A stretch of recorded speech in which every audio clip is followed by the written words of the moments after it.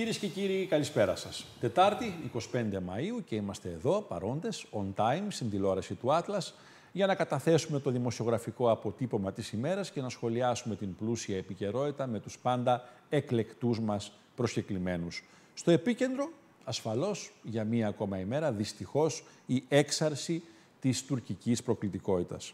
Την επαύριο των δηλώσεων Ερντογάν, της εκ νέου κινητοποίησης των μεταναστευτικών ροών ως μοχλού πιέσεων και την έξοδο του ερευνητικού Γιουνούς στην καρδιά του Αιγαίου, ο Πρωθυπουργός Κυριάκος Μητσοτάκης απάντησε στον Τούρκο Πρόεδρο από τον Ταβός, όπου και βρίσκεται, εάν ο Πρόεδρος Ερντογάν, σημείωσε ο κύριος Μητσοτάκης, θεωρεί πως δεν θα υπερασπιστώ την κυριαρχία της Ελλάδας και τα κυριαρχικά μας δικαιώματα ή δεν θα διεθνοποιήσω ότι η Τουρκία συμπεριφέρεται ως αναθεωρητική δύναμη, τότε έχει εσφαλμένη εντύπωση, υπογράμμισε ο Πρωθυπουργός κατά τη διάρκεια της συζήτησής του με τον πρόεδρο του Οικονομικού Φόρουμ. Ο Πρωθυπουργός έκανε ακόμη λόγο για απαράδεκτη πρακτική, κληθείς να σχολιάσει τον άνευ προηγουμένου μεγάλο αριθμό υπερπτήσεων τουρκικών μαχητικών πάνω από ελληνικά νησιά. Θα φύγω το συγκεκριμένο ζήτημα όποτε μου δίνεται η ευκαιρία έως ότου η Τουρκία αλλάξει τη συμπεριφορά της, σημείωσε χαρακτηριστικά. Την ίδια ώρα, φίλες και φίλοι, η Τουρκία προσπαθεί να κλείσει τα μέτωπα που είχε ανοίξει τα προηγούμενα χρόνια. Μετά τις επισκέψεις σε Ηνωμένα Αραβικά Εμμυράτα και Σαουδική Αραβία, ο Υπουργός Εξωτερικών της γείτονος χώρας, ο κύριος Μευλούτ Σαβούσογλου, βρέθηκε στο Τελ Αβίβ ήταν η πρώτη επίσκεψη Τούρκου Υπουργού Εξωτερικών μετά 15 χρόνια στο Ισραήλ. Ο κύριος Σαβούσογλου συναντήθηκε με τον ομόλογο, τον κύριο Λαπίτ. Συμφωνήσαμε, είπε, να φέρουμε νέα ενέργεια, να προσέξουμε τις λέξεις εδώ, στις σχέσεις μας, σε πολλούς τομείς και να δημιουργήσουμε από εδώ και, από εδώ και πέρα διαφορετικούς μηχανισμούς. Ενώ τόνισε ακόμη ότι η συνεργασία στη βάση μιας θετικής ατζέντας μπορεί να βοηθήσει ώστε να χειριζόμαστε επικοδομητικά τις όποιες συγκρούσεις. Παρά τις βιώσιμες, παρά, συγγνώμη, παρά τις όποιες διαφορές μας, όπως είπε, πάντα ο διάλογος είναι εποφελής. Και βέβαια το ερώτημα παραμένει, την ώρα που η Τουρκία προσπαθεί να κλείσει όλα τα υπόλοιπα μέτωπα που έχει ανοίξει, γιατί κρατά ανοιχτό αυτό και όχι μόνο το κρατά ανοιχτό, αλλά αντίθετα ρίχνει λάδι στη φωτιά το μέτωπο με την Ελλάδα. Θα τα σχολιάσουμε αυτά στο δεύτερο μέρος με τον καλεσμένο μας, τον κύριο Φενέκο, τον υπονάβαρχο. Τώρα, θα μείνουμε Θεσσαλονίκη. Η τοπική επικαιρότητα πάντα έχει τη δική της α, προτεραιότητα, πόσο μάλλον δε, σε ένα κανάλι όπως το Άτλας. Συνομιλούμε με έναν άνθρωπο της τοπικής αυτοδιοίκησης, ιδιαίτερα ενεργό. Έχω τη χαρά και η τιμή να φιλοξενώ στο στούντιο του Άτλας τον ανεξάρτητο πλέον Δημοτικό Σύμβουλο Πηλέας Χορτιάτη, επενδυτικό σύμβουλο μεταξύ άλλων στο επάγγελμα, τον κύριο Πάρη Τσογκαρλίδη. Κύριε Τσογκαρλίδη, καλησπέρα σας και ευχαριστώ πάρα πολύ για την αποδοχή της πρόσκλησης. Καλησπέρα, εγώ ευχαριστώ. Κύριε Τσογκαρλίδη, ομολογώ ότι πολλοί κόσμος εξεπλάγει με την απόφασή της, με την απόφασή σας, 13 χρόνια μετά, να ανεξαρτητοποιηθείτε, να φύγετε από την παράταξη του κύριου Γνάτιου Καϊτεζίδη, του οποίου υπήρξατε στενός συνεργάτης. Διαβάζω εδώ αντιδήμαρχος τεχνικών υπηρεσιών, ενταλμένος σύμβουλος για θέματα ανάλυσης οικονομικών δεδομένων και διοικητικής μεταρρύθμισης. Ποιοι λόγοι σας όθησαν να πάρετε την απόφαση αυτή; Καταρχάς να σας πω ότι υπήρχαν και πολλοί που είπαν επιτέλους. Επιτέλους. Επιτέλους, ναι. Γιατί; Γιατί είναι πράγματι, ο Δήμαρχος με τίμησε με θέσεις ευθύνης. Θεωρώ ότι απέδωσα στο maximum ό,τι μπορούσα να αποδώσω στον τρόπο διοίκησης του συγκεκριμένου Δημάρχου. Συμπορεύτηκα μαζί του 13 χρόνια. Ο Δήμαρχος είναι δήμαρχος αυτού του τόπου, τουλάχιστον όσον αφορά το πανόραμα, από το 1998. Την τρίτη θητεία εκτιμώ ότι δεν πράξαμε αυτά τα οποία υποσχεθήκαμε στον κόσμο. Κυκλοφορώ, ξέρετε, πολύ στο πεζοδρόμιο και λόγω της ιδιότητάς μου της επαγγελματικής και λόγω του ότι σπίτι μου είναι το πανόραμα, αλλά και η Πηλαία και ο Χορτιάτης. Και πάνω απ' όλα έβλεπα την δυστοκία του κόσμου και πολλές φορές βρισκόμουν απολογούμενος, έχοντας κι εγώ μέρος της ευθύνης, διότι είμαι κομμάτι της διοίκησης. Ήταν λοιπόν μια πολύ όρημη σκέψη η οποία δεν ήρθε απροδοποιητά. Είχατε ενημερώσει τον Δήμαρχο για την πρόθεσή σας. Όπως επίσης και για αυτό που πίστευα ότι έπρεπε να πράξει για την επόμενη διαδικασία των δημοτικών εκλογών. Όπου θα δήλωσε εκ νέου την υποψηφιότητά του. Δήλωση επίσημη ακόμα δεν έχουμε, αλλά έχουμε πρόθεση, Πρόθεση. και δημοσιογραφικά εκτιμώ ότι είναι πάρα πολύ λογικό να εκτιμούν οι πάντες ότι ο νυν δήμαρχος θα είναι υποψήφιος και στην επόμενη ε, διαδικασία των δημοτικών εκλογών. Εγώ παρά τα αυτά όμως, βλέποντας το ότι έχουμε βαλτώσει, βλέποντας ότι πολλά από αυτά που έχω φωνάξει και αρθρογραφώντας, αλλά και κουβεντιάζοντας και με την ομάδα και μαζί του, δεν γίναν πράξη. Και ένιωσα την απόλυτη ευθύνη να φέρω ένα πλουραρισμό στο Δημοτικό Συμβούλιο που είχε εκλείψει στο έπακρον και μάλιστα σε θέματα τα οποία είναι αυτό που λέμε κόκκινες γραμμές, για πρώτη φορά να μπορώ ελεύθερα να εκφραστώ. Έκανα μια έντιμη πράξη. Ανεξαρτοποιήθηκα, δήλωσα σε όλες τις δυνάμεις του τόπου ότι θα στηρίζω οτιδήποτε υγιές για τον τόπο, αλλά ότι θα είμαι πλέον απέναντι σε αυτό το οποίο πιστεύω ότι δεν πρέπει να ψηφίζεται. Και είχαμε μάλιστα και θέμα στο Δημοτικό Συμβούλιο την ίδια μέρα της ανεξαρτοποίησης, που αφορούσε υπερχρέωση του Δήμου για συγκεκριμένο σκοπό, όπου καταψήφισα αιτιολογημένα και δεδομένα και δίνοντας και πρόταση πώς θα μπορούσαμε διαφορετικά να αφαιρθούμε τη συγκεκριμένη διαδικασία ασφαλτοστρώσεων που θέλει η νυν διοίκηση να ξεκινήσει, κυρίως φαντάζομαι για προεκλογικούς λόγους. Την ίδια ώρα, διαβάζοντας τα σκονάκια μου, βλέπω ότι ενώ κα- πραγματικά καταψηφίσατε το α, δάνειο αυτό το οποίο θέλει να πάρει ο Δήμος Πηλαίας Χωτιάτη, την ίδια ώρα υπερψηφίσατε μια άλλη σύμβαση για τον φωτισμό LED, αν δεν κάνω λάθος. όχι τη σύμβαση μόνον, αλλά εκείνη τη μέρα ψηφίζαμε τον δανεισμό για να μπορέσει η σύμβαση να λάβει ε, την ε, δέουσα διαδικασία και να ολοκληρωθεί. Θα πει Και κανείς αφορά- δανεισμός ο ένας δανεισμός ο άλλος. Γιατί είπατε ναι στο ένα δανεισμό και όχι στον Γι' άλλο. αυτό βρισκόμαστε εδώ, για να εξηγούμε στον κόσμο Ακριβώς. τα ουσιώδη. Ο ηλεκτροφωτισμός είναι ανταποδοτικός. Σημαίνει ότι οτιδήποτε έχει ακόμα και ας πούμε σε ένα επίπεδο χρέους για το μέλλον του τοπου θα δώσει πίσω από το γεγονός ότι θα έχουμε εξοικονόμηση στην κατανάλωση ενέργειας. Λόγω του ότι θα κάνουμε... Μέσω ενεργειακής κρίσης Ακριβώς. πρέπει να μειωθούν τα Η τιμολόγια. άσφαλτος δεν είναι ανταποδοτική. Η άσφαλτος είναι μέσα στο τεχνικό πρόγραμμα προϋπολογιστικά αναέτος και πολλές φορές καλύπτεται από δαπάνες που πράγματι εδώ θα δώσω την πίστοση και χρόνου και δικαιολογίας στην διοίκηση στην οποία συμμετείχα επί χρόνια από κεντρικούς αυτοτελείς πόρους και από άλλους πόρους που έρχονται κεντρικά από το κράτος. Άρα δεν είναι τα ίδια πράγματα. Και να σας πω και κάτι πιο σημαντικό απ' όλα. Ο ίδια τράπεζα, το Ταμείο Παρακαταθήκων και Δανείων, που μας δάνεισε με τον, ηλεκτρο- για τον ηλεκτροφωτισμό με ένα επιτόκιο, δεν θέλω να κουράσω με όρους τους τελεχαρτέ, Καλά, ναι. ας πούμε χ. Ναι. Ήρθε και δανείζει την ασφαλτόστρωση με δύο φορές χ. Η ίδια τράπεζα, χωρίς να έχει εκταμιεύσει το πλήρες του δανείου. Αυτά δεν πρέπει να τα μετρήσει κανένας. Δηλαδή, στη λογική, το ότι επειδή δεν καταφέραμε να διορθώσουμε το δικό μας δίκτυο στο Χορτιάτι, στην Πηλαία, στο Πανόραμα, γιατί κάναμε λάθος προγραμματισμό. Γιατί δώσαμε προτεραιότητες σε άλλους δρόμους. Δεν θέλω να ονοματίσω τους δρόμους. Ο δε δρόμος, θα πω μπροστά στο Δημαρχείο, στρώθηκε τρεις φορές.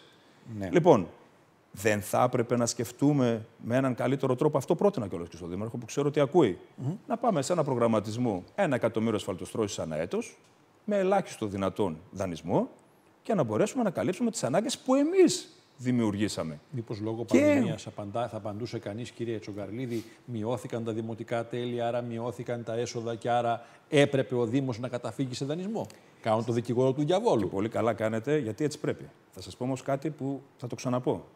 Τα τέλη που αφορά την ασφαλτόστρωση δεν είναι ανταποδοτικά. Σαφώς. Δεν τα εισπράττουμε από τους πολίτες. Και να σας πω κάτι με αυτό που είπατε.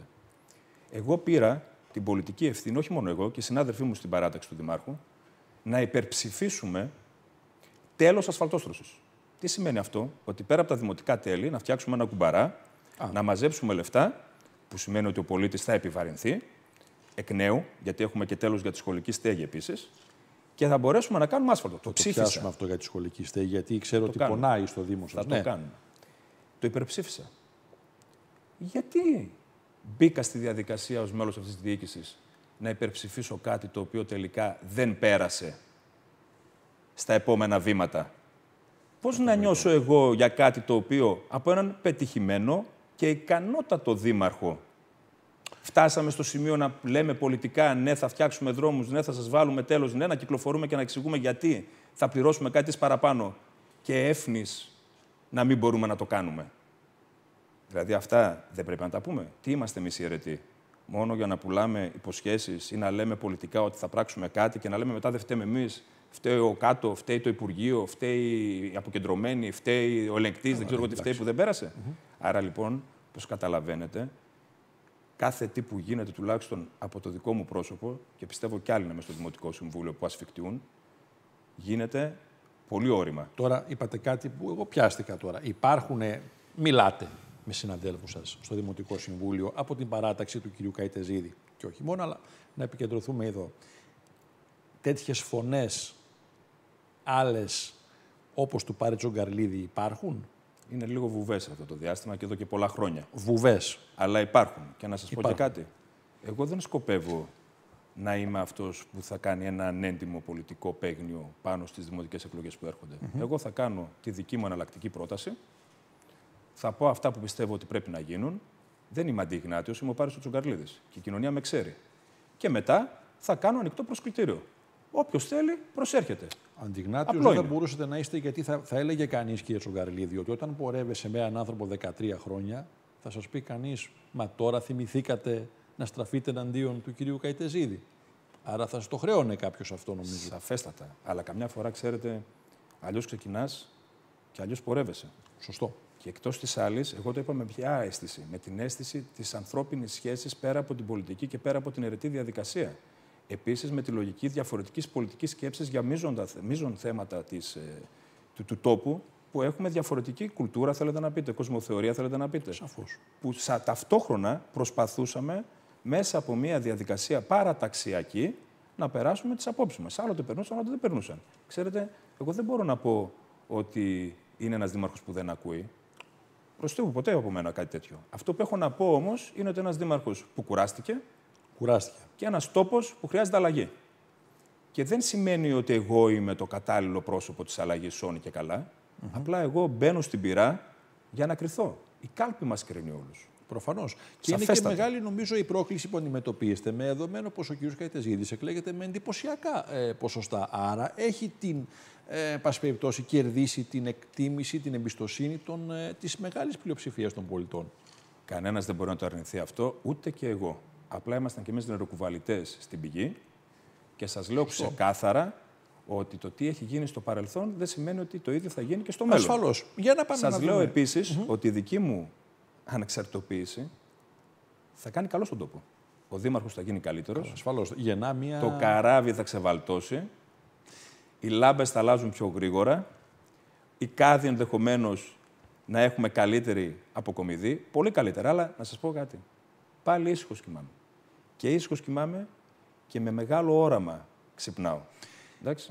Χτες, ετοιμάζοντας τη σημερινή μας συνέντευξη, έκατσα και είδα δύο-τρεις παρουσίες σας σε συναδέλφους τις τελευταίες ημέρες, συνεντεύξεις που δώσατε. Χρησιμοποιείτε επανειλημμένα και μου κάνει εντύπωση γι' αυτό το αναφέρω, το ρήμα βαλτώνω. Ότι ο Δήμος δηλαδή έχει βαλτώσει, το είπατε και προηγουμένως εδώ τώρα σε εμένα. Θα απαντούσε ο Δήμαρχος αν ήταν εδώ. Υλοποιούμε στην Πηλαία την ανάπλαση της οδού 17ης Νοέμβρη. Στο πανόραμα ολοκληρώνουμε την ανάπλαση του πολιτιστικού κέντρου Λίτσα Φωκίδη, Μακαρίτσα. Στο Χορτιάτι το δώρο μας στη νέα γενιά είναι το κλειστό δημοτικό γυμναστήριο. Στο Φίλιρο λύνουμε οριστικά το πρόβλημα με την υδροδότηση με το νέο δίκτυο ίδρυυσης 9 εκατομμύρια ευρώ από το Αντώνης Τρίτσι. Ενώ στην εξοχή, παρά τα προβλήματα που υπάρχουν με την εργολαβία, προχωρά το νέο δημοτικό σχολείο Ασβεστοχώρη Εξοχή Χορτιάτη, το δίκτυο ίδρυυσης και αποχέτευσης, για το οποίο θα μιλήσουμε αργότερα και προκύψαν θέματα εδώ. Αυτές είναι οι απαντήσεις. Και θα έλεγε κάποιος, Αυτά όλα δεν τα βλέπει ο Τσογκαρλίδης. Δεν είναι έργα του Δημάρχου τα οποία τρέχουν. Μα καταρχήν, πολλά από τα έργα που είπατε τα διαχειρίστηκε ο ίδιος ο Τσογκαρλίδης για ορίμανση μελετών, ώστε αυτά να γίνονται όταν ήμουν αντιδήμαρχος. Σαφέστατα και δίνω στο Δήμαρχο τα εύσημα για ό,τι έχουμε καταφέρει ως παράταξη και να σας το πω και διαφορετικά και σε ό,τι κατάφερε και σαν χρηματοδότηση να διεκδικήσει, διότι εγώ είχα το ρόλο του Αντιδημάρχου Τεχνικών Υπηρεσιών και Πολυδομία. Ασφαλώς. Κάποτε ήμουν στα οικονομικά για να βοηθήσω τους τότε Αντιδημάρχους όταν ξεκινούσα, αλλά ο ρόλος μου ήταν στις τεχνικές υπηρεσίες και στην Πολυδομία. Mm -hmm. Κανένας δεν ακυρώνει το έργο, ούτε εγώ, ούτε μπορεί κανείς να πει το τίποτα για το τι γίνεται σήμερα, οριμάζοντας όμως από χθες. Πάμε όμως στο τι θα γίνει από εδώ και πέρα.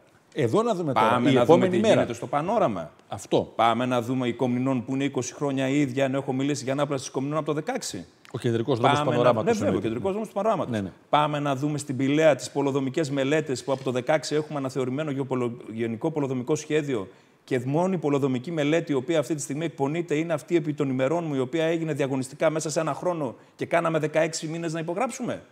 Πάμε να δούμε πάνω στο βορρά το κημητήριο το οποίο θα έπρεπε να είναι κοινό μεταξύ εξοχής, χορτιάτες, βεστοχωρίου, σε χώρο που πολύ νωρίς είχαμε δει ότι μπορούμε να τον έχουμε και εμείς διαπραγματευόμαστε τι τίμημα θα έχουμε το Ταμείο Εθνικής Αμήνης. Πάμε να δούμε τι γίνεται με την πλατεία στο Χορτιάτι. Πάμε να δούμε τι γίνεται στο Φίλιρο.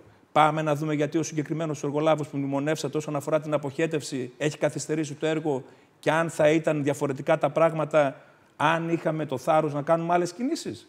Θέλετε να πιάσουμε κι άλλα; Σχολική στέγη; Θέλω να μείνουμε στη σχολική στέγη. Θα πάμε Δεν αμέσως έχουμε μετά. ακόμα εκλογικό αγώνα, όχι, άρα όχι, σταματάω όχι, εδώ. όχι. Να το, θα, το, θα βάλουμε, ανοίξουμε μια παρένθεση. Γιατί είπατε για την αποχέτευση και ξεκίνησε μια πολύ μεγάλη συζήτηση στην πόλη τις τελευταίες ημέρες μετά το ε, γεγονός ότι θα έκλεινε κατ' ουσία όλη η λεωφόρο ο Πανικολάου για να υλοποιηθούν κάποια συγκεκριμένα έργα αποχέτευσης. Τι σημαίνει αυτό, θα έκλεινε ο δρόμος από το ασβεστοχώρι πάνω από το χορτιάτι μάλλον προς το ασβεστοχώρι, καμία κίνηση, θα έπρεπε όλοι να κάνουν το γύρο. Υπήρξε βεβαίως παρέμβαση του, ε, ίδιου, του ίδιου του Δημάρχου, ο οποίος, ε, πάση περιπτώσει, ξεκαθάρισε πως το ένα ρεύμα θα μείνει ανοιχτό. Τι ακριβώς έγινε εκεί πέρα πάνω, κύριε. Με συγχωρείτε, αλλά δώστε και Ζωγαρλίδη. λίγο αδιάφωστο για πρώτη φορά. Υπήρχε Παρακαλώ, δική μου παρακαλώ, παρέμβαση παρακαλώ. πριν την, παρ- την ανακοίνωση του Δημάρχου. Και θα σας πω το εξής. Το θέμα το γνωρίζω πάρα πολύ καλά, γιατί το χειρίστηκα ως αντιδήμαρχος με έναν εργολάβο που δεν θα κρίνω το γιατί μπορεί να επέμενε στο ότι πρέπει να κλείνει ο δρόμος. Ναι. Δεν είναι της παρούσης. Αλλά, εν πάση περιπτώσει, έχουμε τεράστιες χρονοκαθυστερήσεις λόγω αυτού του γεγονότος. Ο δρόμος πράγματι θα έκλεινε. Αρμόδιος για τις κυκλοφοριακές μελέτες είναι οι αντίστοιχε υπηρεσίε της Περιφέρειας Κεντρικής Μακεδονίας. Άρα να εξηγήσουμε ότι θα έκλεινε όλος Θα ο- και τα έκλεινε δύο ρεύματα. σε πολύ συγκεκριμένο επίπεδο, όχι Από όλος ο δρόμος. Μέχρι; Θα έκλειναν 100 μέτρα, 150 μέτρα, αλλά θα έκλεινε σε όλο το διάζωμά του. Ε, άρα αναγκαστικά θα πήγαινες γύρω-γύρω. Δεν Μα υπήρχε υπάρχουν άλλος και δρόμος. ταμπέλες. Αν πάτε στον περιφερειακό τώρα και περπατήσετε, θα δείτε ταμπέλες εκτροπής. Μάλιστα. Εκτροπής από αυτόν που ξεκινάει από εξοχή, από το Παπανικολάου και θέλει να πάει στο Χορτιάτη να κάνει το γύρο της πόλης. Μα, ναι. Ευτυχώς, γι' αυτό σας είπα ότι ακούει. Είχατε Εγώ μια θα δική σας πιστώνω, παρέμβαση. θα πιστώνω πάντα τα θετικά. Οκ. το πήραν πίσω. Ναι. Δηλαδή, οι κυκλοφοριακές μελέτες βάσει των οποίων θα γινόταν η συγκεκριμένη εργολαβία πάρθηκαν πίσω. Και αυτό που έγινε είναι προφανώς να πάνε σε αυτό που το 20-19, φτάσαμε 22, επί της ουσίας συζητούσαμε κοινώς να υπάρχει το ένα ρεύμα το οποίο θα εκπονεί τις εργασίες του με ασφάλεια ο εργολάβος, που σημαίνει ότι ενδεχομένως να θέλει και περισσότερο προσωπικό, ενδεχομένως να θέλει περισσότερες δαπάνες ασφάλειας, ενδεχομένως να θέλει περισσότερα μέσα για να μπορεί να κάνει τη δουλειά του με ασφάλεια και αντίστοιχα όταν τελειώσει το ένα ρεύμα να γίνει με το άλλο. Ευτυχώς δεν έκλεισε. Και ναι, πράγματι, την πρώτη μέρα που θα ξεκινούσε η διαδικασία, πράγματι γνωρίζω ότι υπήρξε και αυτοψία των αρμοδίων επάνω και έγινε το λογικό, το αυτονόητο. Και χαίρομαι ιδιαίτερα γι' αυτό. Εδώ έγινε. Κάτι που δεν έγινε, το συζητούσαμε και στην αρχή, ή δεν φαίνεται να έγινε, είναι πρόοδος μεγάλη στο μείζον ζήτημα της σχολικής στέγης. Κύριε Σογκαρλίδη. Εδώ δυστυχώς έχω να πω τα εξής. Πρώτον, είναι αλήθεια, για να λέμε αυτά τα οποία δικαιολογούν τη διοίκηση την οποία υπηρέτησα κι εγώ, ότι η ροή των μαθητών που ξεκίνησαν με τα μνημόνια, με όλη τη διαδικασία, φέρανε μια αναγκαιότητα σε σχολική στέγη μεγαλύτερη από τον πραγματικό προγραμματισμό που μπορούσε να έχει μια διοίκηση σαν τη δική μας. Σαν τη δική μας ως τις 29 Μαρτίου. Έτσι. Λοιπόν, τι έγινε όμως που ήταν λάθος; Κάλιστα θα μπορούσαμε χώρους τους οποίους απελευθερώσαμε και θα μπορούσαν να έχουν όριμες μελέτες ενδεχομένως σήμερα για να προλάβουμε αυτά που φαινόταν, αλλά δεν φαινόταν και τόσο έντονα να πούμε την αλήθεια, να τους είχαμε κρατήσει έτσι ώστε να έχουμε σχολιά ή εκπονημένες μελέτες για να γίνουν σχολιά πολύ νωρίτερα του τέστην. Ας δανειζόμασταν ακόμα και για να αποζημιώσουμε τους χώρους που με μεγάλη, έτσι θα το πω, πλειοδοσία στα παλιότερα γενικά πολοδομικά σχέδια, ειδικά στον παλιό Δήμο Πηλαίας, υπήρχαν χαρακτηρισμένοι για σχολεία. Δεν το κάναμε. Μας προλάβανε οι εξελίξεις, μας πρόλαβε η κρίση και φτάσαμε να έχουμε εξαθέσια σχολεία να γίνονται δωδεκαθέσια, φτάσαμε να έχουμε έλλειψη συγκεκριμένων βαθμίδων εκπαίδευσης και το κερασάκι στην τούρτα, που και γι' αυτό δεν φταίει η νυν διοίκηση, να έρχεται το κράτος έφνης και να λέει ότι θα πάρετε και την προσκολική αγωγή, πάρτε και μερικά νηπιαγωγή και μάλιστα ξέρετε τι. Εσείς μπορεί να θέλετε όριμε μελέτες, να χτίσετε οικοδομικές άδειε. Αυτό θέλει χρόνια για να γίνουν αυτά. Ε, ελληνική γραφειοκρατία. Ακούστε τώρα. Ναι. Ακούστε τώρα λογική. Στους χώρους που είναι χαρακτηρισμένοι, βάζουμε δύο κοντέινερ και έχουμε σχολείο αύριο. Ναι, δηλαδή, αλλά... μια ναι. δημοτική αρχή να χρειάζεται την οριμότητα των μελετών, να γίνουν οι διαγωνισμοί με τους εργολάβου. Να δούμε αν ο εργολάβο πράγματι μπορεί να τα καταφέρει, γιατί πολλές φορές ζουν και μεγάλη έκπτωση και μετά παρατάνε το έργο. Έχουμε τέτοιο φαινόμενο στην εξοχή. Ναι. Να, να, να. Και κάποιοι να μπορούν με το έτσι θέλω να δημιουργούν σχολική στέγη, επειδή υπάρχει επιτακτική ανάγκη μιας απόφασης που πάρθηκε στο πόδι. Κοντολογή. Το σφάλμα εδώ ήταν σφάλμα προγραμματισμού. Δεν είναι ολικό σφάλμα της νυνδίκηση. Μπορούσαμε όμως εμείς να ήμασταν πολύ καλύτερα προετοιμασμένοι. Είχα κάνει επί των ημερών μου μάλιστα καταγραφή των χώρων που πρέπει να κρατήσουμε. Δυστυχώς έχουμε χάσει πάρα πολλούς, διότι όπως καταλαβαίνετε, πλέον με τον νέο νόμο, αν έχεις κάτι δεσμεύσει και δεν έχεις το κεφάλαιο στο ταμείο, είσαι αναγκασμένος να το αποδεσμεύσεις όταν υπάρχει η αντίστοιχη ε, δικαστική απόφαση. Και βρισκόμαστε σήμερα προ ευνηδιασμού αναγκαιότητος. Φαίνεται όμως ότι το πράγμα κάπου μειώνεται και ενδεχομένως στο μέλλον είναι λίγο καλύτερα τα πράγματα. Α το ευχηθούμε. Είναι σκοπός μας ωστόσο να ολοκληρώσουμε όλα τα project τα οποία αυτή τη στιγμή τρέχουν και αυτά που ενδεχομένως θα μπορούσαν να τρέξουν. Ένα μεγαλόπνο, ένα μεγαλόπνο project το οποίο θα μπορούσε να αποτελέσει σημείο αναφοράς. Το έχει αναδείξει πολλές φορές ο, ο κύριος ε, Δήμαρχος. Βέβαια, καλά, εδώ πέρα υπάρχει και η ελληνική γραφειοκρατία, η αθάνατη. Είναι το πολύ φιλόδοξο σχέδιο για μια μαρίνα όμορφη μαρίνα στο θαλάσσιο μέτωπο της Πηλαίας. Γιατί ξεχνάνε πολύ ότι ο Δήμος Πηλαίας Χωτιάτη διαθέτει και θάλασσα. Αυτό ξέρετε. Παραλία, έχει και ταμπέλα. Ε, υπέροχη, αλλά πώς μπορεί... Μείναμε πίσω, όχι, όχι προφανώς με ευθύνη του Δημάρχου, αλλά τι μπορεί να γίνει ώστε να τρέξει παραπάνω αυτό το project; Θα μου επιτρέψετε πριν να απαντήσω επί αυτού να σας δώσω ένα πιο ωραίο όραμα. Πιο εύκολα υλοποιήσιμο και πιο πιθανό να υλοποιηθεί νωρίτερα από κάθε μαρίνα, διότι εδώ στη Θεσσαλονίκη πρέπει να ψάξουμε και πόσε μάρινε σηκώνει ο τόπος. Μαρίνα εδώ, θέμα. μαρίνα εκεί, μαρίνα παρακεί. Απλά είναι ευτύχημα και οφείλεται στον παλιό δήμαρχο ε, Πηλέας και φυσικά στον νυν δήμαρχο ε, Πηλέας Χορτιάτη, όπου επί της ουσίας είχε δει τότε τη θεσμοθέτηση της Μαρίνας, στο παράκτιο μέτωπο της Πολοδομικής Ενότητας 15, της παράκτειας δηλαδή Πηλέας, και εκεί ορίμανσαν οι συνθήκες για να έχουμε την πρώτη θεσμοθετημένη μαρίνα που δυστυχώς είναι δύσκολο να ελοποιηθεί. Είχαμε φτάσει να κάνουμε και σύμβουλο, θυμάμαι όταν ήμουν ανιός, ε, δημοτικός σύμβουλος, σύμβουλο διαγωνισμού, χωρίς να υπάρχει διαγωνιστική διαδικασία. Το θυμάμαι χαρακτηριστικά αυτό, δεν το ξεχάσω ποτέ μου. Ε, θα σας δώσω λοιπόν, πριν φτάσω εκεί και εν μέρει απάντησα και το γιατί βρισκόμαστε εδώ που βρισκόμαστε, και είναι όμως πράγματι μόνο εκεί θεσμοθετημένη μαρίνα που υπάρχει αυτή τη στιγμή στην πόλη ένα άλλο όραμα. Το όραμα να μπορεί να το περπατήσει ο πολίτης το κομμάτι από τη σχολή δικαστών μέχρι τη Μάρινα της Πηλαία. Απρόσκοπτα. Όπως περπατάει τη Νέα Παραλία. Τη Ριβιέρα της Θεσσαλονίκης. Να δοθεί στο κοινό. Η πολοδομική μελέτη που είπα στην αρχή της κουβέντας μας, που εκπονείται αυτή τη στιγμή, αυτό το σκοπό έχει. Να είναι κομμάτι του θαλάσσιου μετόπου, κατ' ουσία. Το οποίο να συνδεθεί με τα υπόλοιπα υπερτοπικά παράκτια ναι. μέτωπα και να έχουμε ένα συνολικό παράκτιο εκτόπισμα στην πόλη μας 44 χιλιόμετρων, όπως σας το λέω. Από το Καλοχώρι μέχρι το Αγγελοχώρι. Και φυσικά, το πιο σημαντικό, θα πρέπει να το πω, να δούμε τι θα γίνει με την παράνομη ναυπηγοεπισκευαστική ζώνη που βρίσκεται εκεί, που η περιφέρεια έχει επί της ουσίας απαγορεύσει τη λειτουργία της. Καταλαβαίνω ότι εκεί είναι ένα μείζον θέμα που αφορά πολλούς, αλλά και αυτό πρέπει κάποια στιγμή να πιαστεί και να δοθεί μια μόνιμη λύση. Κύριε Τσοκαρλίδη, είχαμε μια πολύ ωραία συζήτηση. Ο τηλεοπτικός χρόνος πάντα αμήλικτο. Νομίζω ότι ήταν ε, αρκετά συνοπτικός. Είπαμε, αυτά που είπαμε, είπαμε αρκετά. Νομίζω είπαμε αρκετά. Εδώ είμαστε να τα λέμε. Είστε καλά. Ήταν ο κύριος Μεγάλο ευχαριστώ κύριε Τσοκαρλίδη για την παρουσία σας σήμερα στην τηλεόραση του Άτλας. Κυρίες και κύριοι, ήταν ο κύριος Πάρης Τσοκαρλίδη, ανεξάρτητο πλέον δημοτικός σύμβουλος στο Δήμο Πηλέα Χορτιάτη. Εμείς πάμε να πάρουμε μια ανάσα, διαφημίσεις και επιστρέφουμε ευθύς αμέσως. Thank you.